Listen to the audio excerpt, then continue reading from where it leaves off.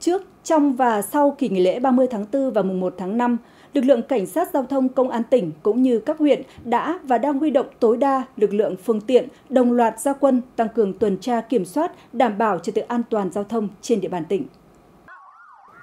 Trong đó, Phòng Cảnh sát Giao thông chỉ đạo các tổ nghiệp vụ phối hợp chặt chẽ với công an các huyện, thị xã, thành phố, phân luồng để chống ùn tắc cục bộ trên các tuyến đường. Bên cạnh đó, Công an tỉnh sẽ tập trung xử lý mạnh các hành vi vi phạm là nguyên nhân trực tiếp gây ra các vụ tai nạn giao thông như vi phạm tốc độ, đi không đúng làn đường phần đường, người điều khiển phương tiện tham gia giao thông trong cơ thể có nồng độ cồn, chất ma túy.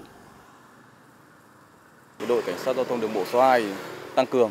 trực 100 trăm quân số và đối với chuyên đề nồng độ cồn chúng tôi triển khai từ 19 giờ đến 24 giờ. Thì đến thời điểm này chúng tôi đã kiểm tra phát hiện được hai trường hợp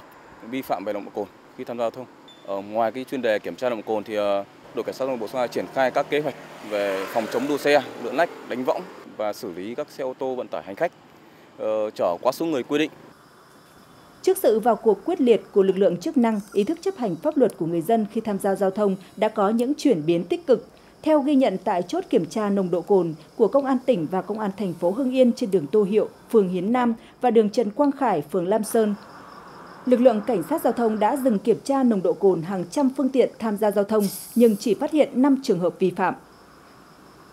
Trong quá trình à, xử lý các trường hợp à, liên quan nồng cồn thì lực lượng chúng tôi gặp rất nhiều khó khăn. Đối với trường hợp thứ nhất là người điều khiển xe không chấp hành, hay là sử dụng những à, mối quan hệ tác động gây khó dễ cho lực lượng với sự kiên quyết không vùng cấm, không ngoại lệ, công an thành phố Yên xử lý nghiêm trường hợp vi phạm trong những ngày nghỉ lễ, lực lượng cảnh sát giao thông tiếp tục duy trì 100% quân số, phối hợp với các lực lượng cảnh sát khác, sử dụng các thiết bị nghiệp vụ, hệ thống camera giám sát để phát hiện xử lý nghiêm các trường hợp vi phạm trên tinh thần thượng tôn pháp luật, không có vùng cấm, không có ngoại lệ.